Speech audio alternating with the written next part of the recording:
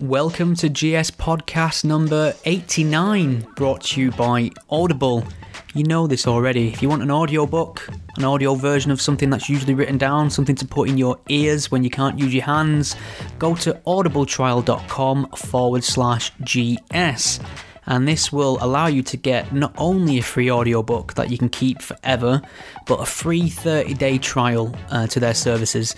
Uh, if you decide you don't want to carry on with the service, you still get to keep the audiobook. And the best thing is, it helps support this wonderful podcast, keeps it ad free, stops me plugging crap that I don't care about. Um, I've got a fantastic guest for this show. Uh, I'll be speaking to Haydar Zaki from the Quilliam Foundation. Um, I really enjoyed our discussion. We touched on a whole host of big issues uh, that, that are topical at the moment, from the prevent strategy to Muslim reform to radicalisation in our educational system. And just listen to this man speak listen to the clarity of his thought, the passion, the way he genuinely cares about the issues, and contrast this to the kind of so called Muslim community leaders they drag out onto our TV and radio whenever there's a, an issue, and um, the way they obfuscate, the way they detract all attention from the ideas, uh, and make Muslims the victim in any given situation. Haydar clearly motivated by a concern for human rights, and I think they're that's the kind of thing we want to empower where we can. So make sure you check out the Quilliam Foundation, what they're all about. I've, I've mentioned them on the podcast many a time. I've had Majid on the show. I'm a member myself. Um, you can find them at quilliamfoundation.org. Send some kind words to Haydar on Twitter too, some follow up questions, just some general love. I'm sure he'll appreciate it. You can find him at Haydar Zaki1. Haydar's H A Y D A R, Zaki Z A K I 1. You can keep up to date on this podcast and read some recent blogs that I've uh, tapped together over at gspellchecker.com. Enjoy.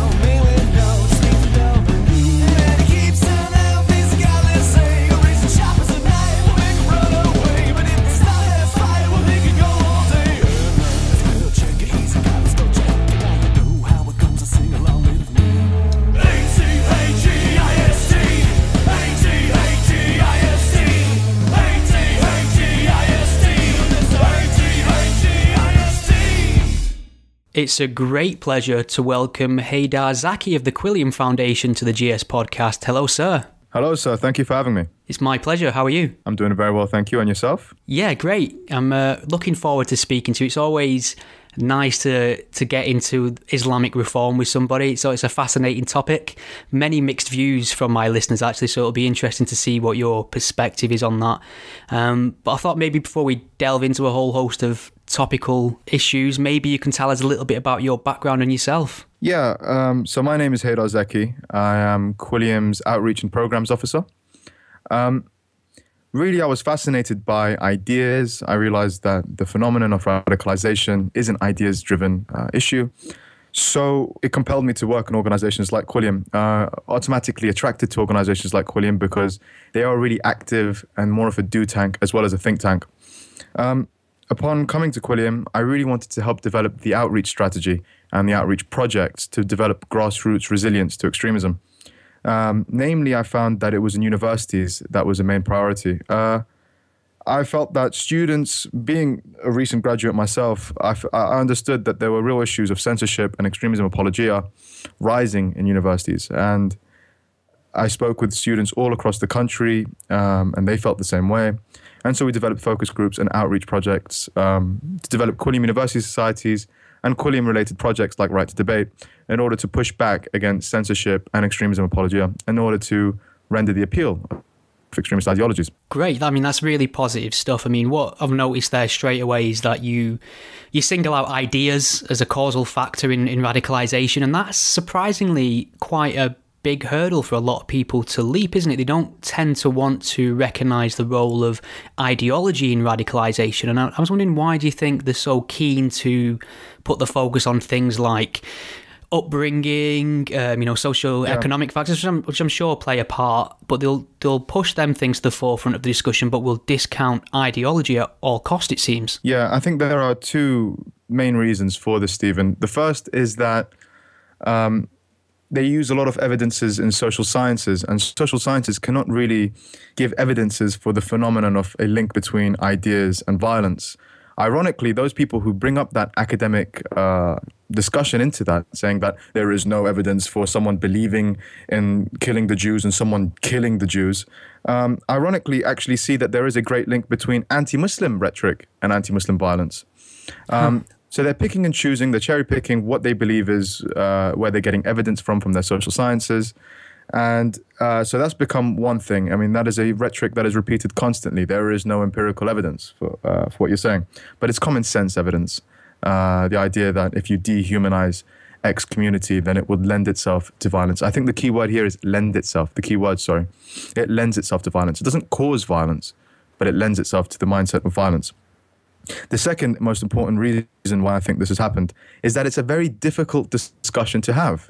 Um, if you take the problem really is massive. Uh, uh, it's, it's, it's, it's, it's, if you have FOSIS, which is the organization, the umbrella organization connected to every single ISOC in the country, or most ISOCs in the country, or if That's not all. student unions, isn't it? Students' union, yeah, so Islamic societies.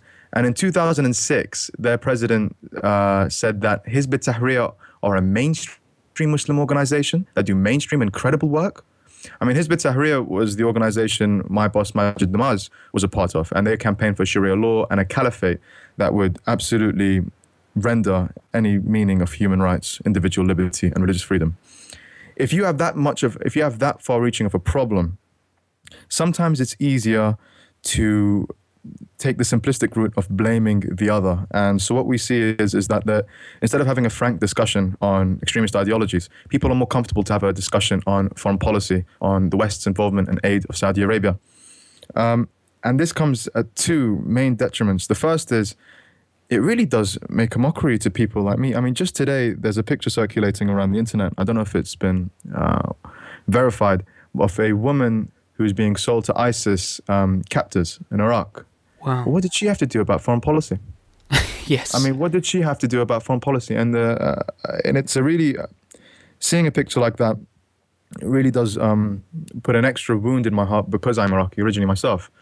So that's the first thing. The second thing as well is that it completely puts our head in the sand. We don't want to talk about it. We don't even want to name it. I have family members who are Iraqi, so they first-hand know. They first-handedly know the damage of ISIS and what it's done to us. And they'd still rather talk about ISIS as some American Zionist conspiracy, ISIS standing for Israeli Secret Intelligence Services, than they would to actually clarify that actually this is something to do with Islam and that this frank discussion has to take place because there is appeal for this ideology. So I think those are the two reasons why that's taken place, why people haven't had that respect for the link between ideas and violence, and the two that the two hangovers of that as well, which has been detrimental to the cause of countering extremism. Yeah, it's funny. I mean, to pass a little time on my morning commute today, I did a little exercise on Twitter. I, I tried to locate people who were vocally anti-Zionist, and they either, they either had it in their profiles or they'd send tweets about it. Then I'd mm. search the same people for words such as 9/11 false flag and inside job. the, yeah. Uh, the correlation yeah. was was present. It was almost guaranteed. Um, so it's it's really interesting. But I mean, talking about what you mentioned there, I mean, it ties back into student unions and this idea that foreign policy is to blame. I mean, that brings me swiftly on to um, Malia Bouattia, who's the, the president mm-hmm. of the mm-hmm. National Union of Students here. And mm-hmm. I read, I don't know if you read that interview with her in The Guardian. I did, yes. Okay, which is a bit from my perspective, it was a, it was a bit of a car crash. Um, so we've got this this policy in the UK, or it's not so you know doing so well at the moment is prevent the prevent strategy. And I would challenge you on it uh, if it's not doing too well, but that's another point. Well, yeah, uh, sorry. In, in terms yeah. of in terms of public opinion, vocal public opinion, should I say? It's not. I mean, he seems to be. He seems to lack a, a, a lot of Muslim support, especially. Yeah, I would. Yeah, I would say. Uh, yeah, I would okay, say that, so, that's a valid criticism. Yeah. So she she was asked. I mean, this is the problem I have with people who who are critical of the prevent strategy. They'll be asked, "Well, what what's your alternative? What would you like to see?" Yeah. And her instant reaction was, "Well, we should concentrate on our foreign policy." And and I would suggest that's a complete red herring. That still doesn't deal with the issue of homegrown radicalization, does it? No, not at all. And actually, um, on this particular case, I'd like to give an anecdote. So I was at a um, Prevent conference at UCL, which Malia was uh, a part of the panel. And the interesting thing is, although they don't give an alternative, Malia and the NUS are in a very unique position because the NUS does counter extremism of sort, what they call countering fascism. So they do think about these issues. Nonetheless, so I asked this simple question. So let's get this straight. If someone says no Muslims allowed in the country, it is seen as fascist. That belief is seen to lead to violence, and you go as far to ban it. Now, i w- I'm a liberal, so I wouldn't ban it. I'd rather challenge it, and we can talk about right to debate later. But I see the logic that she's identified a problem there with that anti Muslim fascist rhetoric. Sure. On the other hand, if someone says, in my ideal state, apostates would be killed, it is safe spaced under religious rights. It is seen as just a conservative belief, just their belief, and is even worked with. Now, I'm not even joking. These are the organizations of speakers they work with on certain anti prevent campaigns. So I said to her, Of course, you're against uh, the prevent strategy, because the prevent strategy looks at both far right fascism and Islamic, uh, Islamist theocratic fascism. You know, you, you ban one form of fascism, but you work with the other. And it just did make not make any sense, and she couldn't answer that question. Now that video of me asking that question is uploaded online. Uh, she pretended she didn't un- understand the question. I had to ask it again through the courtesy of the host, and she just regurgitated the no platform policy that the NUS has. They couldn't. She couldn't fathom it. I, I couldn't believe. Um, and that has real consequences that I'm sure we will be talking about later on.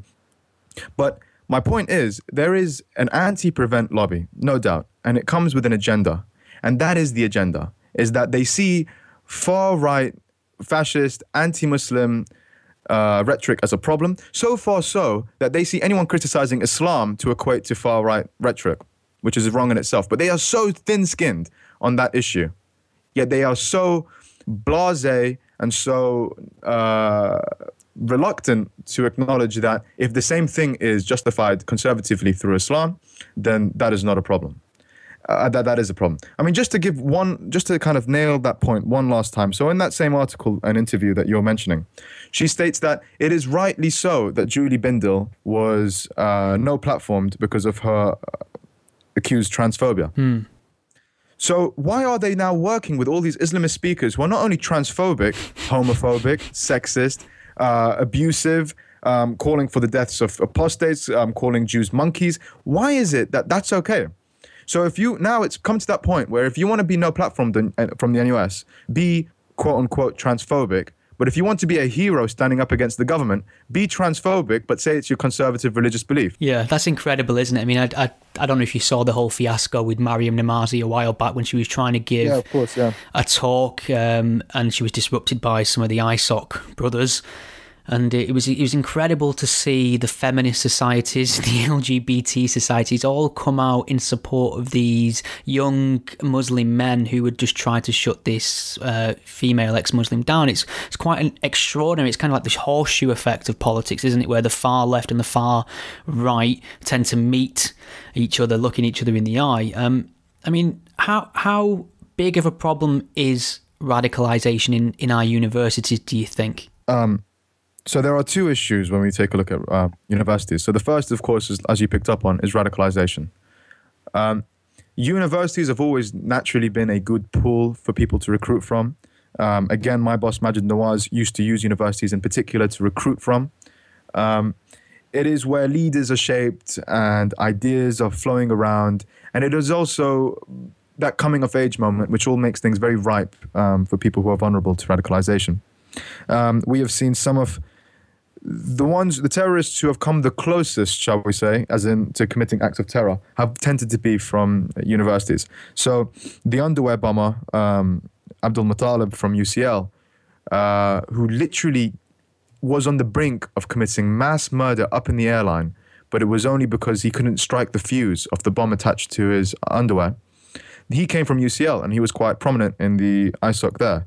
If we take a look at um, King's College, also recently, one of their ISOC members was arrested on the charges of trying to take a gun and shoot policemen in an ISIS inspired attack. Um, so that is an issue. Radicalization is an issue. The second issue, though, is that if you have, like we have now today, a regressive left which borders on communism and Islamist alliance gripping all of universities. Now, I'm not just saying it's a it's a dominant strand, it's a mainstream strand. I'm saying it really is gripping most, um, if not all, student political activists. Then that will have real life consequences on the outside political sphere. Every university, uh, sorry, universities have historically been the places which springboard or even give birth to political movements. Bad, like Islamist and communist um, styled movements, but also good, liberal ones too. Now, if you have this movement gr- growing su- such a such a pace in universities, you can bet your bottom dollar that it's going to have a, a real life effect in public. And so now it is no surprise for me that our second party, the party rivaling uh, the incumbent Conservative Party, is the Corbyn Party. That borders. That is. I mean, you have your shadow chancellor right standing up and saying, "I am a Marxist and I welcome the recession." This didn't come out of anywhere. This didn't come out of anywhere. This came out from universities, I believe. I truly believe that. And the struggle here now is to try and get the public to realize that this isn't just student politics. This isn't just about students banning sombreros and banning songs in students' unions, but it's actually have real. It actually has real life consequences on our liberal values. That we are now having a institution being gripped by censorship of what they believe is to be right, like an intellectual mafia dictating to students what they believe is right and wrong. The second is now we have apologia for extremism, which has all sorts of problems attached to it, like the lending of violence and the damning and forsaking of those brown people who are fighting for universal human rights because they're not seen as authentic. And the third, of course, is anti Semitism, because all three forms of extremism that are rising Islamist, far left, and far right I hate to say it, aren't too friendly to the Jewish people. and that is now showing itself in students' unions and real life politics. So unless the public starts to wake up and realize this is, an, a ser- this is a serious institution to be working with, and this is uh, something serious that we have to be involved in, then it will continue. It will continue to be a problem on both those fronts of radicalization and developing regressive political movements with horrendous vision that will be at the detriment of the central liberal ground. Yeah, I mean, it's, it's really interesting. I can kind of see exactly what you mean there and how all them pieces have come together and the knock on effect it's had in politics and society in general.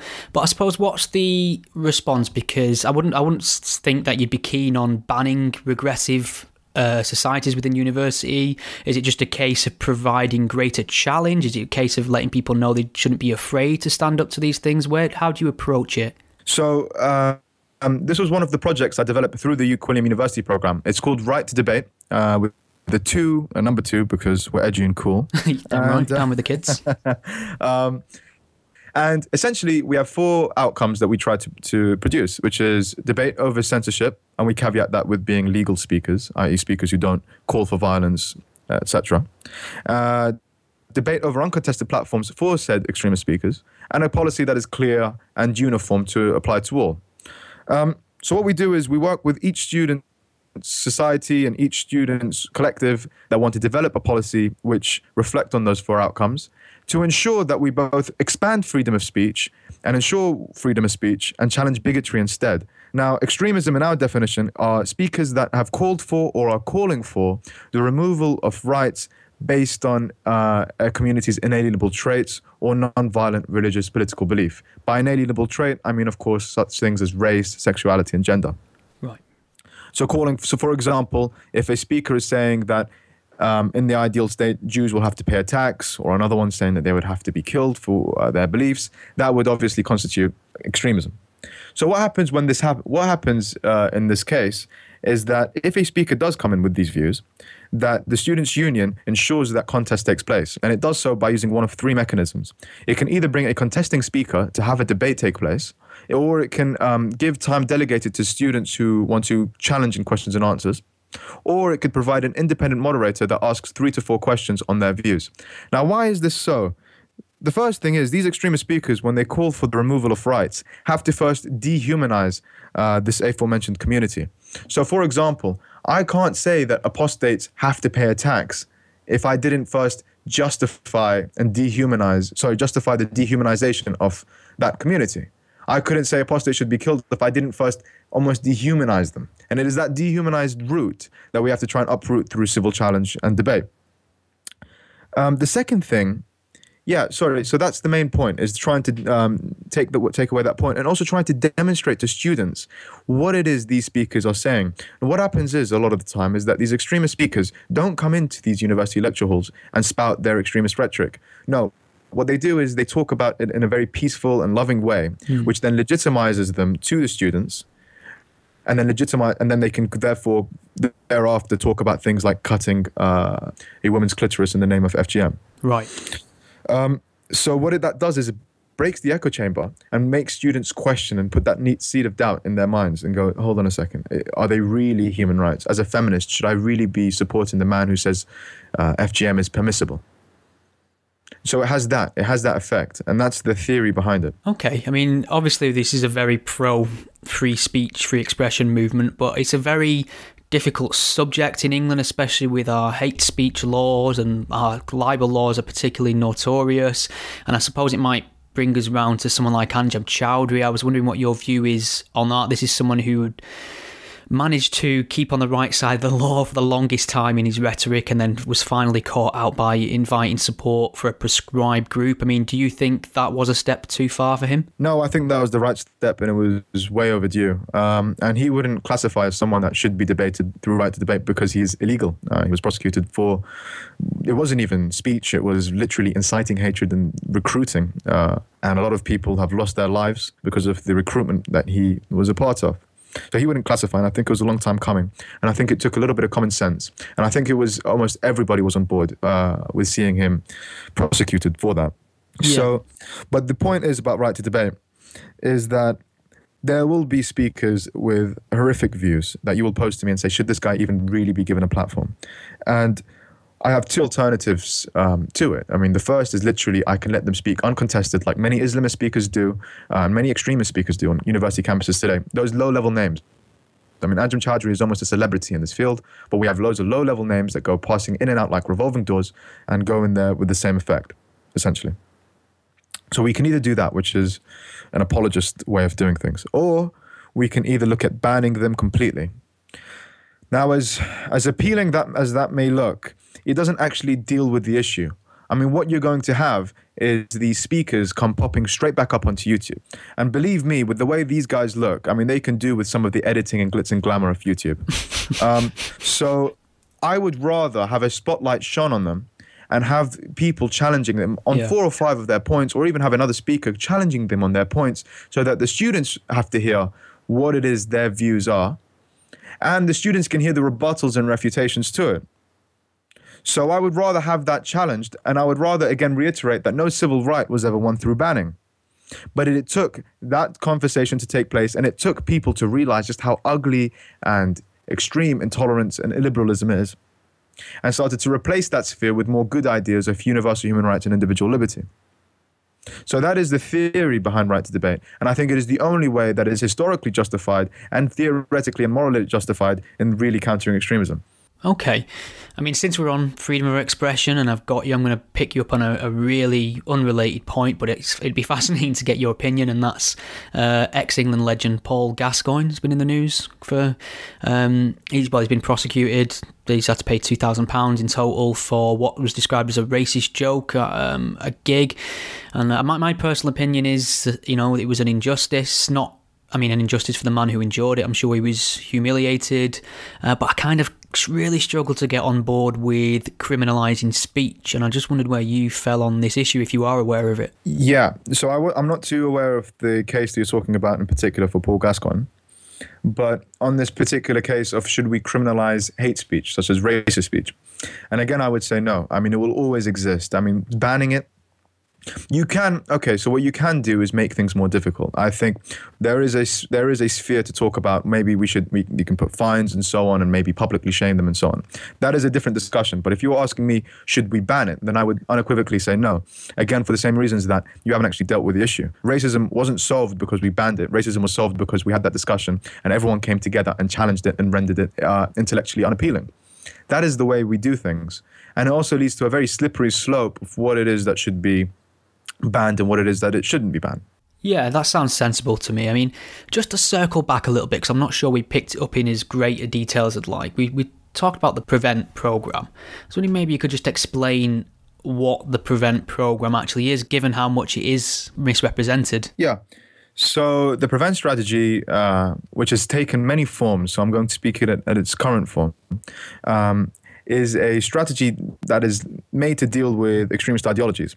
It understands that extremist ideologies um, play the mood music for terrorism, terrorism and violent extremism. That there is a there is a link um, between nonviolent extremism and violent extremism. Not a causal link, but again that lend itself approach to it.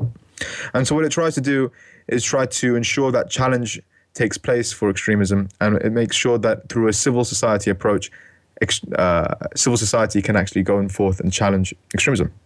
So essentially, what it looks like in practice at the local level is that the teachers and those who are already have safeguarding duties, such as a teacher who has the safeguarding duty of um, intervening if they see one of their students being sexually exploited, now has the duty of ensuring that they intervene when they see signs of radicalization.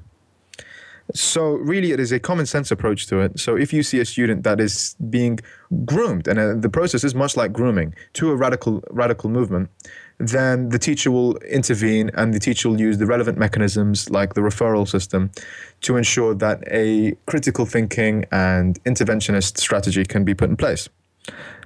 That is really what it is at, the crux of it. I suppose the common argument against that we'll hear from people is it's it's overreach it's it's a nanny state it's people singling out muslims specifically and i was wondering what what would you say to people who made that argument i mean for me it's it's so ridiculous so on the first point i mean really all it is is a common sense approach to safeguarding why is it that you should have safeguarding duties to um, intervene on the sexual exploitation of your students but you shouldn't have one if there are students being groomed to isis that this teacher should just be standing standing back or groomed to far right extremism. Now, don't forget, fifty percent, only fifty percent of referrals are Muslim related or um, Islamic related. I should say, Islamist related.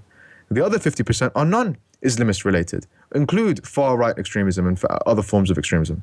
So to not have that safeguarding duty, to say that a teacher has safeguarding duties, but we're going to completely turn a blind eye to uh, the safeguarding duty against extremism and radicalization to violent extremism is a ridiculous concept.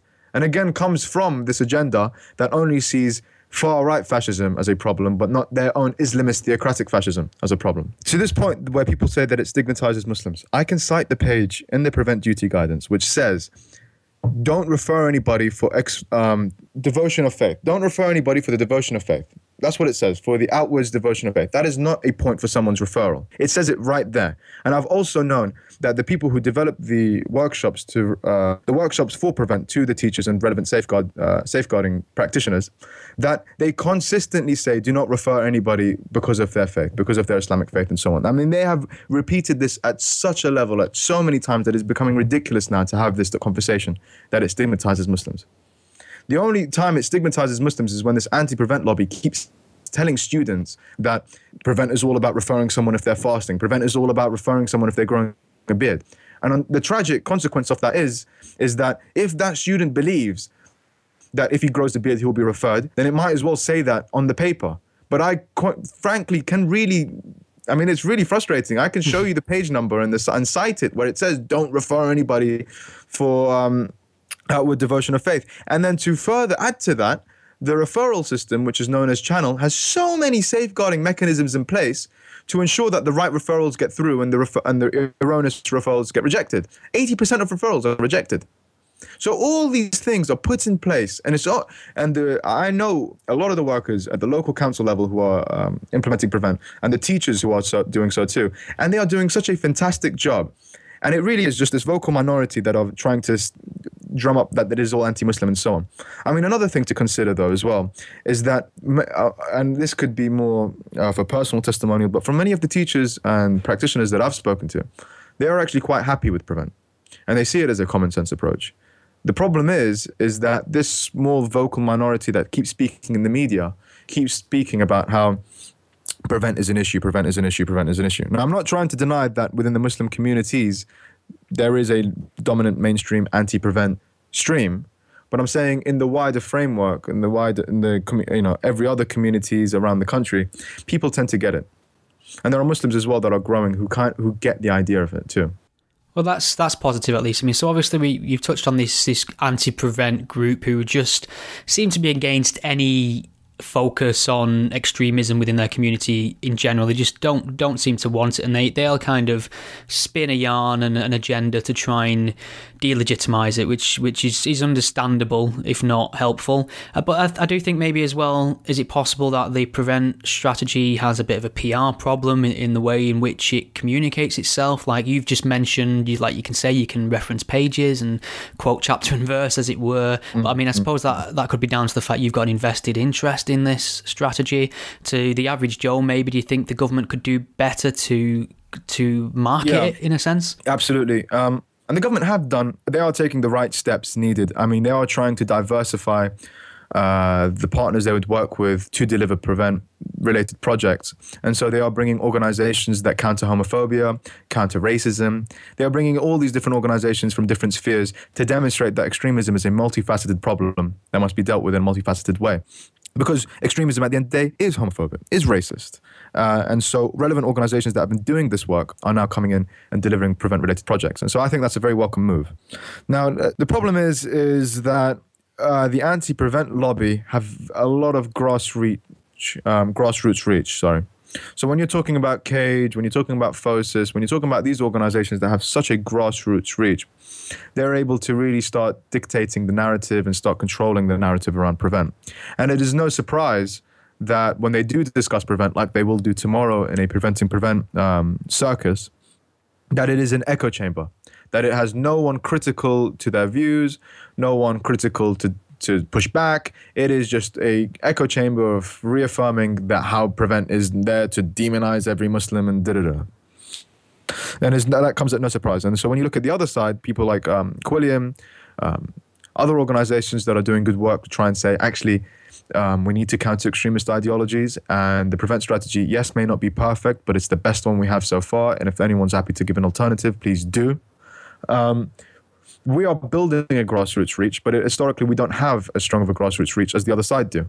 And so, although a counterculture is building and is mobilizing and is moving, it is inevitably going to be more quiet in this somewhat shouting match between people who are for countering extremism and people who are against it entirely. Well, maybe you could tell me a little bit about Quilliam in general and why you decided that's an organisation you'd be happy to work with. I mean, full disclosure, I am a Quilliam member myself. I, you know, I have the T-shirt. Oh, thank you for joining. I'm one of the, yeah, thank you. one of the gang, uh, and I'm, I'm quite supportive of, of the work you do in it. But I mean, what strikes me in particular is that it appears to be one of the only organisations doing this kind of work, which is quite disconcerting. But I mean, you could maybe alleviate my fears in that respect, perhaps. But maybe explain why you felt this is the organisation for you. I felt that it was the organisation for me because it had a very clear message. I found it very clear.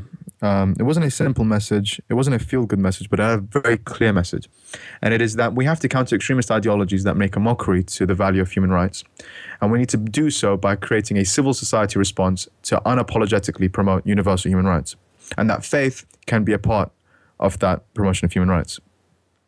That is the key message. Now, you can call Quilliam any name under the sun. I mean, there's a lot of things. Uh, Quilliam is a controversial organization because it is so forward thinking and forward stepping.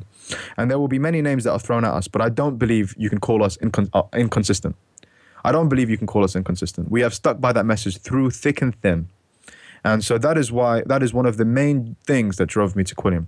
The other reason that drove me to Quilliam is that I am fascinated by ideas. I understand how ideas can shape states. I understand how ideas can shape behavior. I understand how ideas, if good ideas would lead to good vision, which would lead to good policies, and the vice versa. Quilliam is an ideas organization. It understands the value of ideas and the value of free speech. It does not call for countering extremism through legislation. It does not call for countering extremism through abandoning ideas. It calls for countering extremism through free speech and through the discussion of ideas. Now, that is a beautiful message that drew me and allured me to Quilliam.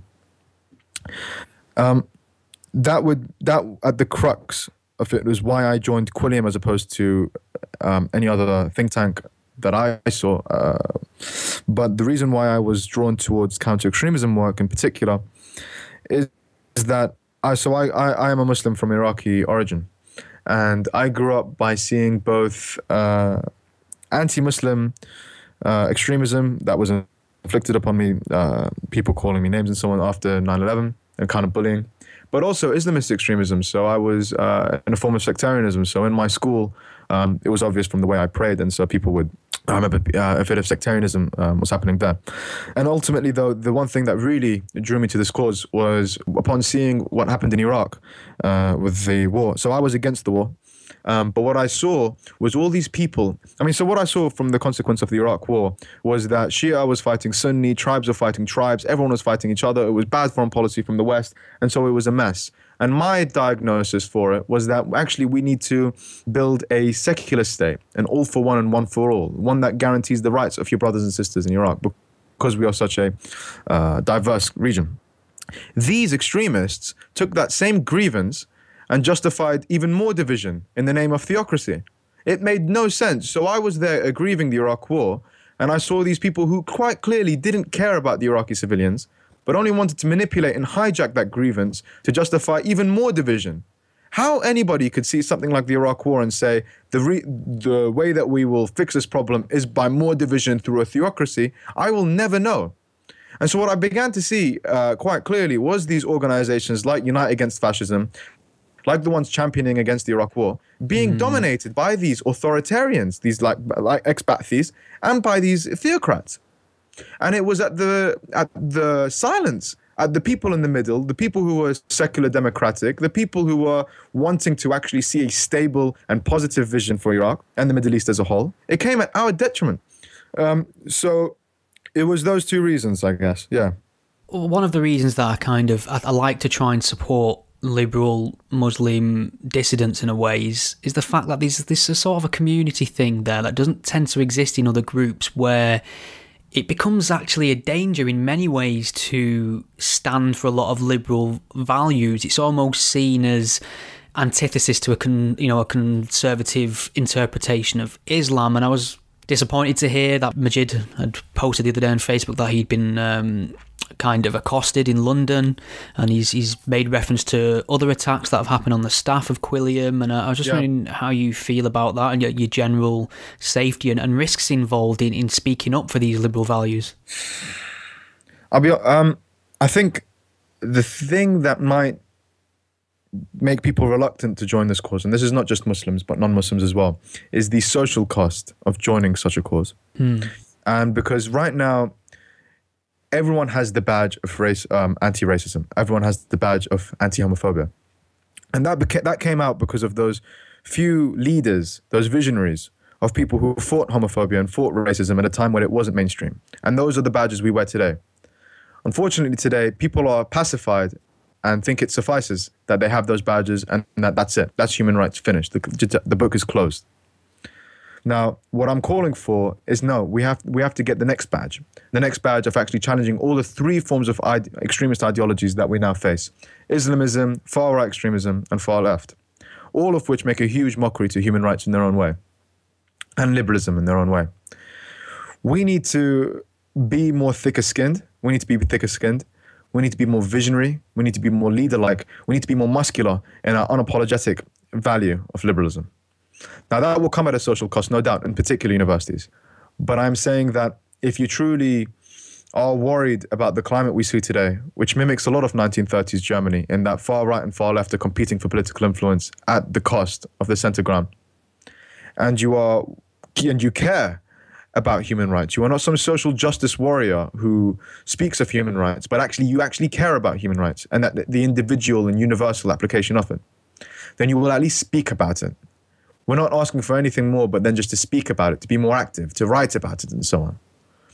Um, of course, it will come back with its own pushback, But if we are to try and progress human rights like those brave people before us did in against racism and homophobia, then we have to start being a little bit more robust too. And so that's why I thank you for um, joining the Quilliam Circle. Um, I'm very, that's why I think it's so important to build and build build networks. Um, the one thing I wanted to state here as well is that we liberals we have to realize that we are really really difficult to try and mobilize. Um, if I can give an analogy, liberals are like cats; they just move all over the place, and they can sometimes allow little differences on tax policies drive such a wedge that they'll never work together again. The extremists don't have this problem. The extremists are like sheep. They're very easy to mobilize. They're very easy to walk in one direction. They're not critical thinkers. They are they follow dogma.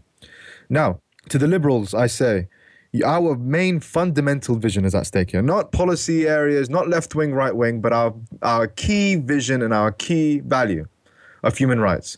Nothing can be born out of good, nothing good can be born out of bad vision. So it's our key values here at stake. We have to start coming together and picking our battles and start siding with our ideals over our identities. So our ideals that bind us together, like women's rights, like individual liberty, like innovation, those are the things that identify us now. Not necessarily what our gender is, what our sexuality is, what our race is, what our faith is, what our political affiliation is. We need to be an ideals over identities culture. This will be the only way that we can start pushing back against the forms of extremism that have already got a head start. Now, just to show you how dangerous such a uh, competition is, when we look at the Arab Spring, every movement started out as secular democratic, no? Mm. And it ended up as Islamist. And it is because these liberals are so difficult to mobilize as opposed to these extremists who are so dogmatically moving in one direction. So, what's needed is the liberals to come together, is the liberals to start understanding that there is something really at stake here. And is the liberals to start saying that we have to start connecting our networks together, start working together, start being socially active together, uh, and coming together. Yeah, I think that's a fantastic point. I think I listened to a Sam Harris podcast recently where he he mentioned that the sort of leftist liberals eat their own in a way that those on the right just don't. Yeah. Okay, Haydar. Well, I have a few questions from Twitter as well. If you're happy to run through those with me. Yeah, absolutely. Please. Okay, some ranty beige co-host from the Manchester area called Iram Ramzan has asked, oh, yeah, yeah. Uh, "How much do the Zios pay you?"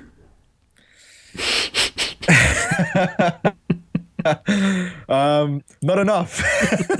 well, I mean, it's an interesting point there because, I mean, a lot of people. I mean, I just get called a racist or a fascist or, or words to that effect when I insult um, or you know criticize Islamism or Islam in general. You, on the other hand, more likely to be called uh, an Uncle Tom, a Zionist, whatever you know, a whatever, house Muslim, house Muslim, yeah. Uh, rap though. But um, but there is a serious point here. Yeah. Um, just as from an anecdote again. Um, so my sister goes to a university that's not very, uh, not very hospitable to Quilliam. That doesn't really will it down, I know, but, uh, but she once called me and said to me, "What is this? You're getting, you know, Israeli Zionist money, and why do you hate Muslims?" And did it, and I said, "What are you talking about?" And she said, "You know, my friends are telling me where you work and stuff, and what is this?" And I said to her, You live with me. li-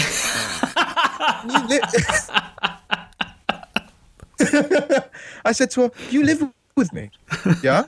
So you know what I'm what I'm like, and you also know what my situation is like. You know, okay, I am a liberal Muslim, but you know we have family who are quite conservative and traditional. And I have never, I will never tolerate to see as much. I'm not calling my family Islamist, but when there are Islamists. I will never tolerate any form of bigotry through speech or even violence. That, I, that, that is something that I will stand vehemently against. So, how could you say that to me? And she said, Oh, yeah. But what it really demonstrated to me is how powerful um, these student circles and these kind of movements can be that it actually it actually convinced someone who lives with me. That's incredible, isn't it? I mean, it just goes to show the kind of misinformation that's been spread about the Quilliam Foundation. And I, I often think that a lot of people going into conversations with uh, Majid when he's, he's doing media have tended to have got all their information beforehand from these places, these blogs and, and articles that essentially just smears. I mean, I don't know, I think he, he was on Australian TV with that lady, um, I forgot her name now, but she just seemed to accused him of all sorts of things, and he was essentially just pushing for the idea of anti-theocracy. I don't know if you saw Yeah. that. Sarah I mean, Soleil, I think she was This called. is the this is the ironic thing. The far left, again, in their good intentions, what they're trying to do is trying to stop anti-Muslim bigotry, start stop wanting to stop uh, violent speech and bigoted speech towards Muslims, and I and I think that's um, something to be applauded for. But the problem is, is if that if they're siding for and apologizing for these Islamists who call for the beating of wives, who call for the penalization of homose- of throwing off homosexuals of buildings and so on, then they're only going to drive up anti-Muslim bigotry. They're only going to drive up this image that Muslims are some kind of barbarians. I mean, if we see it like this, we've got the far right who tried to reduce Muslims as Muslims are barbarians, right? We now have a far left that say Muslims are barbarians, but let's see why. Oh, it's their culture. Oh, it's just because they're different. Oh, it's just who they are. What can we do about it? Now, if you're trying to really, really try to deconstruct anti Muslim bigotry, why not try to work with Muslims and try to promote the message that you can be a Muslim and be British? You can be Muslim and a valuer of human, universal human rights. Because that's the driver between both um, Islamist extremists and the far right, which is that Muslims can't be compatible with Britain, for example, or the West, or human, human right values. So why don't we try and build, pull down that vehicle, as opposed to keep helping prop it up by putting our heads down in the sand? That is the only way to solve anti-Muslim bigotry. Yeah, I mean, it's it's, it's funny. Like like I was saying, my my pe- critics, uh, you know, it's, it's pretty vanilla. It's pretty straightforward. I find critics of liberal reformer reformist Muslims, especially, incredibly bonkers. I mean, I'll give you an example. I don't think I've mentioned this on the podcast before, but since I had Majid on this show, I get an email once a week, I think, and it's from the same chap usually under different identities. He'll sometimes tweet me as well or leave messages on my blog. And he's absolutely 100% convinced that Majid is a sleeper cell jihadist just waiting for that one moment Oh, yeah. to peel back Yeah, the mask and i mean that's that you've got to be a certain brand of paranoid to adhere to that kind of belief surely Absolutely. And uh, it just shows that we must be doing something right if the Islamists think we're trying to destroy Islam and advocate for anti Muslim bigotry. And there's far right paranoids who that say that we're Trojan horse jihadists. Um, Biding so we must time. be doing something right. We must be doing something right. Yeah, yeah. Um, Yeah, I mean, there's no answer to that kind of thing nothing is there There's nothing. There's not. Yeah. I mean, what what more can you say? Okay, well, next question from someone called Anne the Mean Meanie. Now, I've, I'm not familiar with this one myself, but she's, or yeah, she suggested or asked, what are your thoughts on Jalal Uddin's son apparently saying ISIS supporters are posing as charity workers? Now, Jalal Uddin uh, was that poor imam murdered in Rochdale, I believe, by the, Yeah. the ISIS supporters. I don't know if you've heard this claim or if you have any thoughts on it. Yeah, so uh, I can't really comment and verify that accusation because I haven't seen the evidence ahead of me, and I don't think it's um, disclosed to the public. But what I, what I can say is that, and my hypo- hypothesis really is, is that I can believe so. I can believe that so that um, a lot of recruiters for ISIS and even other jihadist groups in Syria are posing as charity workers, are posing as heroes to the Syrian people. Um, that is one of the ways that they drummed up a lot of support for their cause in Syria by by using the real reality of the harsh treatment of Assad to his own people, and then manipulating it to a jihadist cause. Um, so I can believe I can very much believe that to be the case. I just can't comment on it because I haven't seen the evidence for it. Barnet Humanists has asked a good question. Where does Prevent program get its research from? If hmm, it's an interesting one. Okay. Um, so a lot of think tanks like Quilliam, um, you know, recommend policies and develop research projects aimed at what are the best practices to counter extremism. Of course, it varies. I mean, there's obviously Henry Jackson as well that also brings on its own um, direction, and every direction changes. So I think the government pay close attention to what think tanks are telling them, what affluent think tanks are telling them, um, influential think tanks, sorry, and um, and also must be. I, I must. I would only presume that their own um, form of uh, experts and their own form of experts and their own probably their own in-house uh, versions of research. I mean, really, um, the prevent discussion takes place really I, I, I truly believe this. It takes place on two discussions. The prevent strategy when you're discussing it takes place on two points.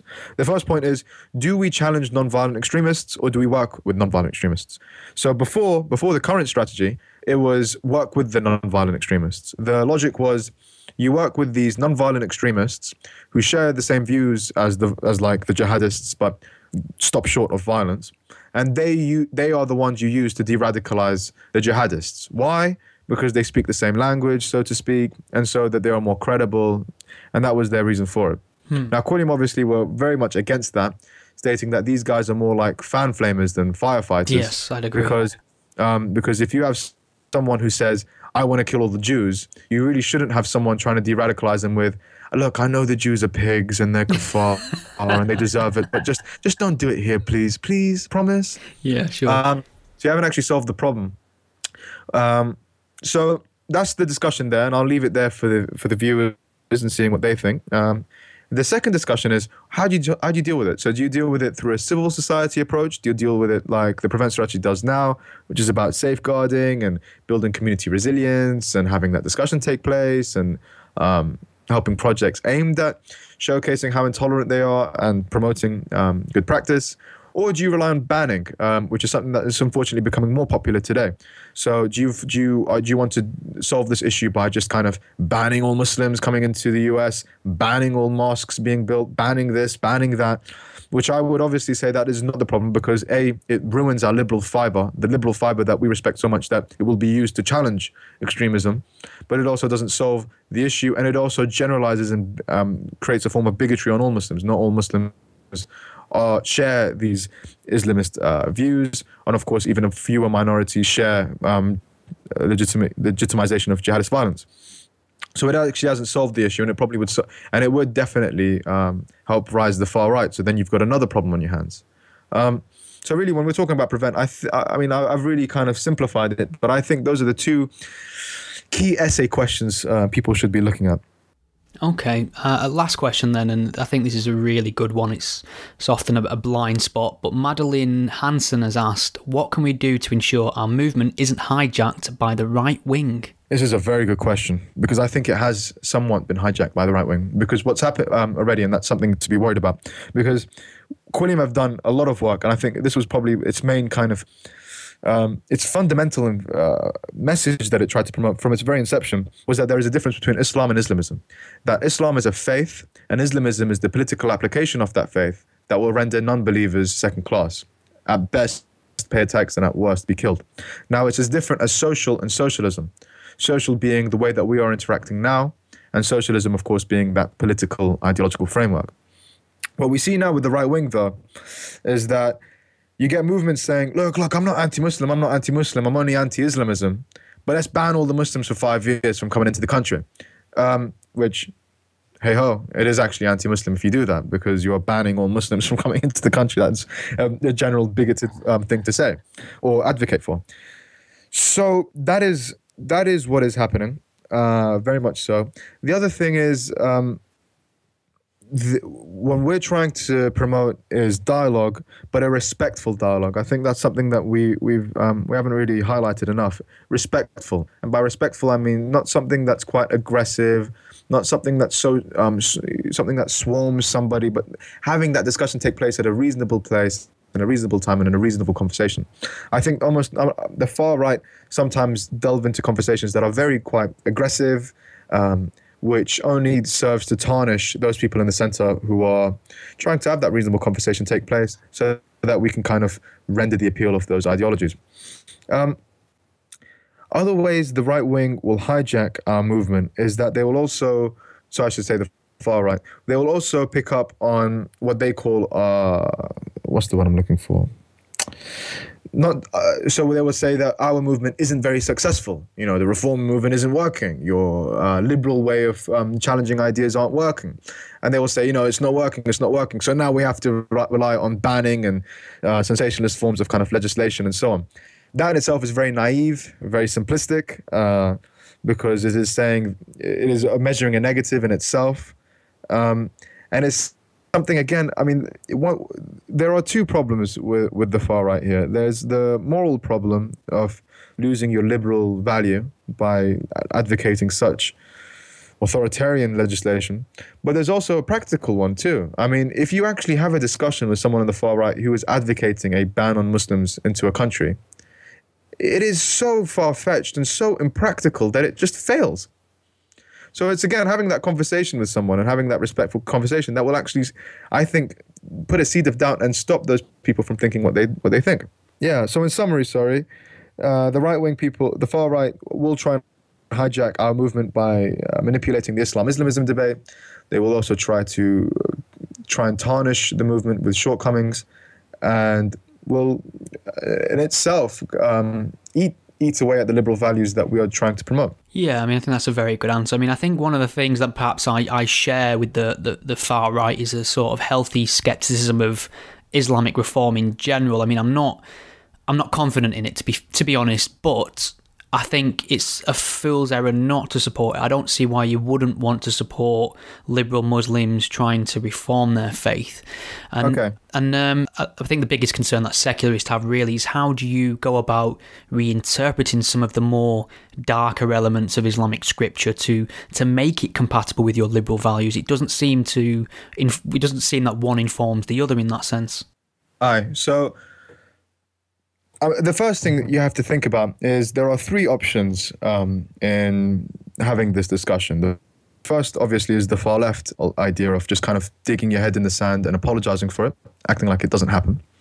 Um, the far right, which is to basically, I mean, sorry, if you don't believe in that kind of reformist movement, then you would automatically think that atheism will dominate and that that's a plausible thing that's going to happen, that mm. 1.7 billion Muslims will just convert to atheism. Or, of course, there is that third alternative, reform. I think, and I don't know if this is your perception of it, but I think one of the one of the things that might play into people's skepticism of the reform movement is that they believe that this is the only thing Quilliam is advocating for, and that this is a theological problem, this is a Muslim problem that will be solved by Muslims alone. It is not the case. Um, extremism is a human problem. Um, it's a timeless problem, and it will be solved by humans. Uh, theology is one compartment of it. This is a human rights discussion. So why is it that you can get involved in this discussion as a non-Muslim? Is because you understand human rights. You understand women's rights. You understand uh, LGBT rights. You stand, understand religious freedom and individual liberty.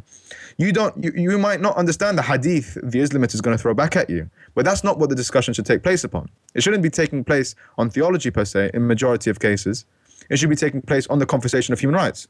And so, what is going to happen for it to work is to build this coalition of different identities under the ideals that I was speaking about prior. So it's going to take the humane to counter the inhumane, the humanists to counter the extremists um, through that dialogue. That is the only way um, it will happen.